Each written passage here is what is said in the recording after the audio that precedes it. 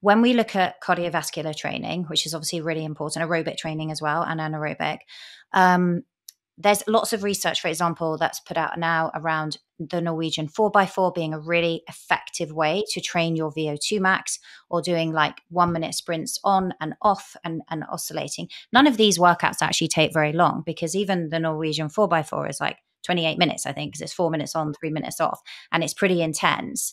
Um, what would you say here for women? Like, where should our focus be? And does that research hold its own in relation to women? Those are all typical high intensity interval training sessions. Those are true high intensity interval training sessions. People think they're new and novel because they're just now hitting the mainstream. They've been around in high performance sport forever. And when you're thinking about what is high performance sport versus the general pop, general pop thinks that high intensity is a spin class or a Barry boot boot camp, right? And that's what they're used to with high intensity. So then when you come out and go, look, if we're doing a really hard workout that's a true high intensity session, like the Norwegian 4x4, this comes stock standard out of endurance racing and high performance.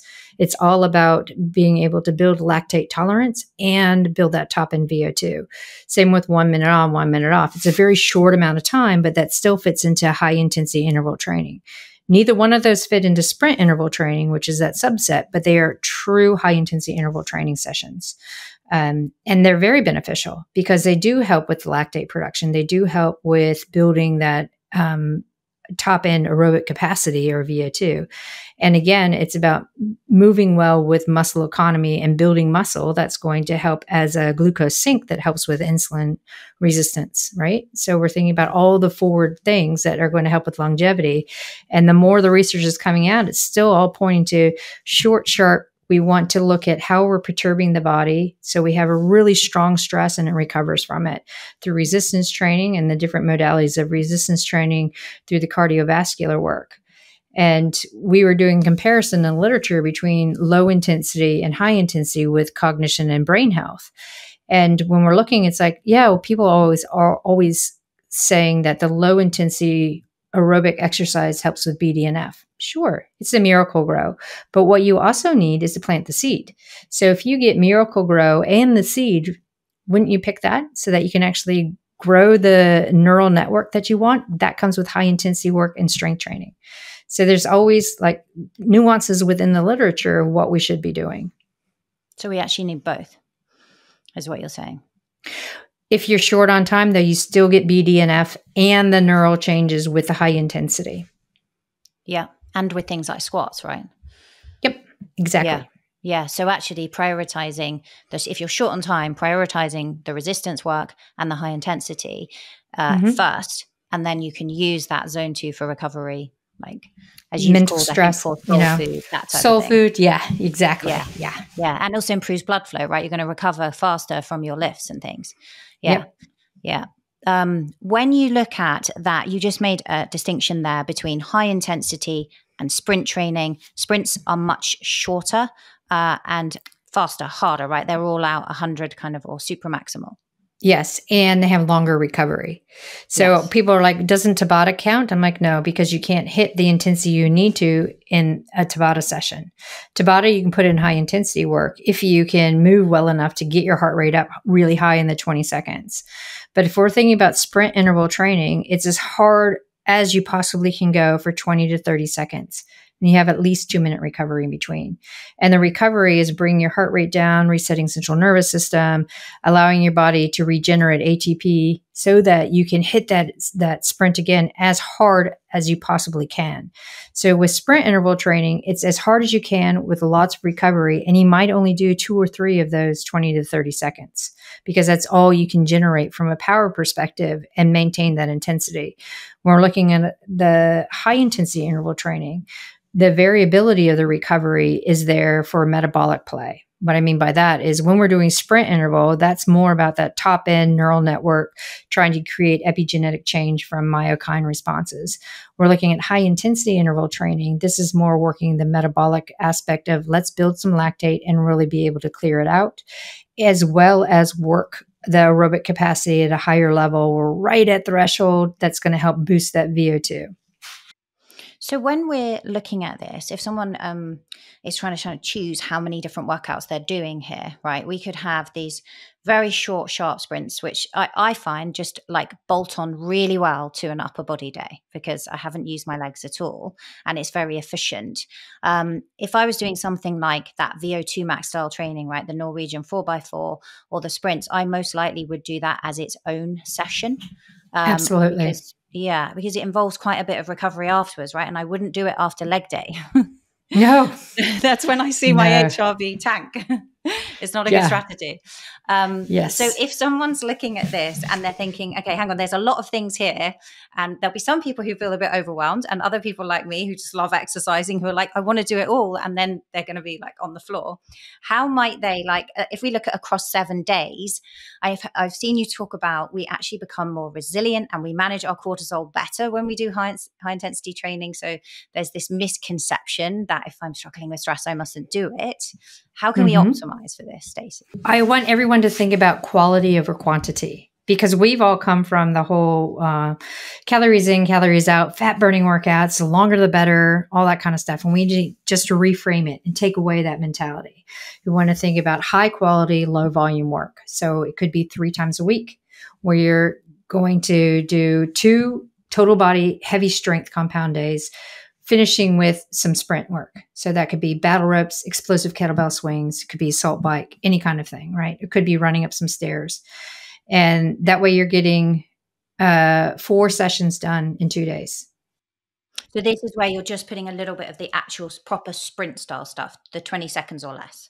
Exactly. At the, call them a sprint finisher, or if you need a little bit more time to prime and warm up for your strength training session, then often people will do it first at the start because a 10 minutes sitting on, t- on a bike for 10 minutes to quote warm up for a strength training session doesn't really do anything if you mm-hmm. really want to warm up and prime everything you got to get some sprint action in there get that heart rate up you can warm up a little bit then do your sprints and then get into your heavy lifting but you can also do it in the reverse because I know there are some days where I'm like, I can't face bringing my heart rate up really high, but I can really get in there and lift heavy. And then at the end, I'm like, yeah, I've got a little bit more. I'm going to do some battle ropes because I've just totally killed my my legs from leg day, right?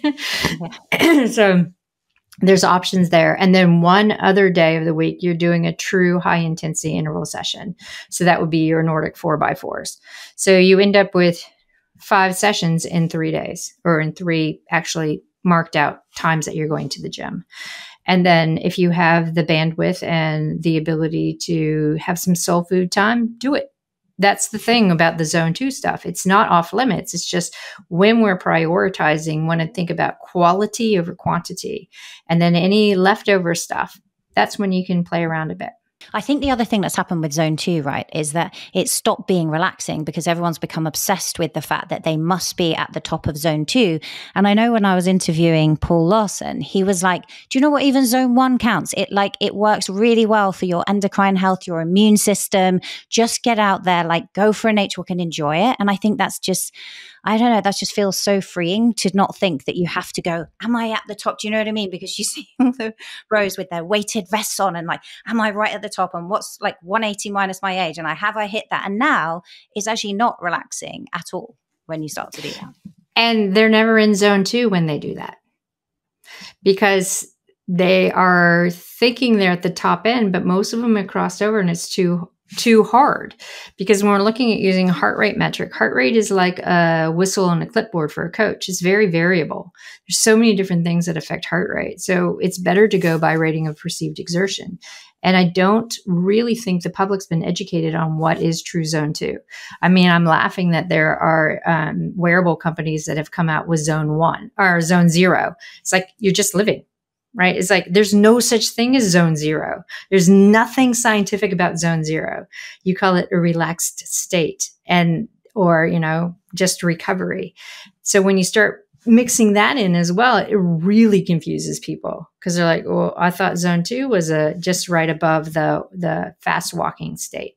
Yeah. But now it's like, no, you got to push a little bit more and we have to do the talk, talk test. Now that's too hard.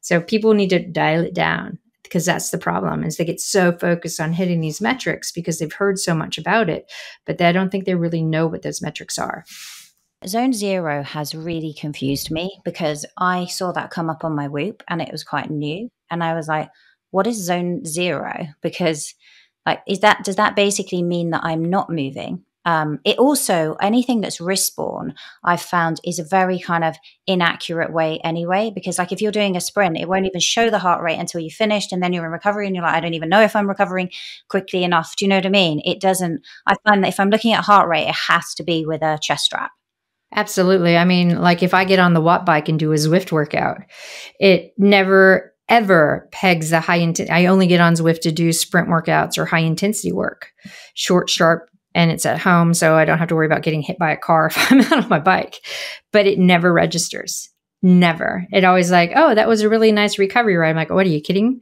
I was pushing 230 watts for three minutes, and those are my three minute intervals. I'm like at top end. So don't tell me that was recovery. So when they come out with zone zero, it's like, what are you talking about? There, there's no scientific basis to be calling it zone zero. It's all marketing. It's to make people go, oh, okay, I can spend some time at 50% or below. And that's just living.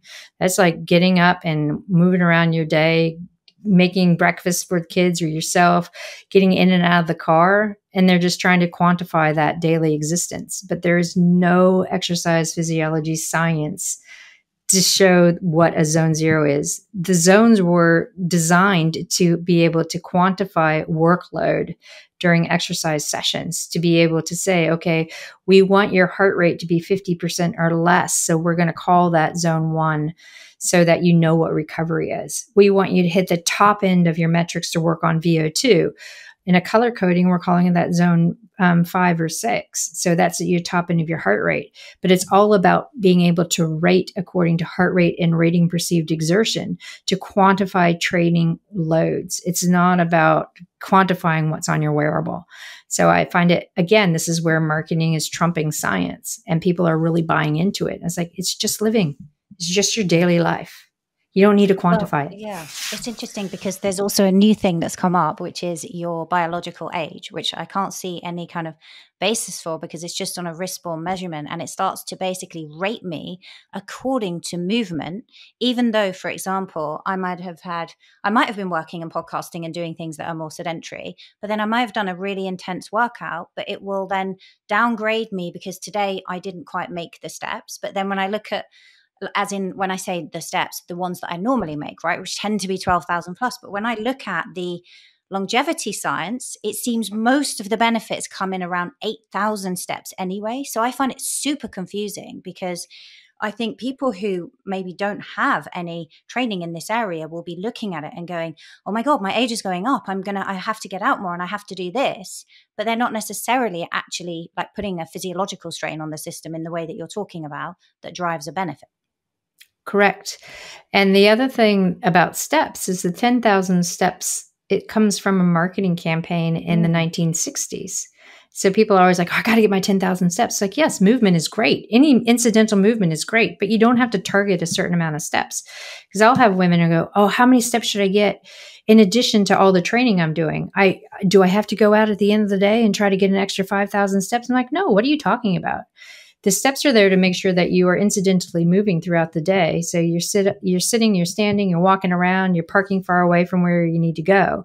And then you can have focused training. But if you're so obsessed with numbers from wearables, you're missing the mark. And that's the part that's frustrating.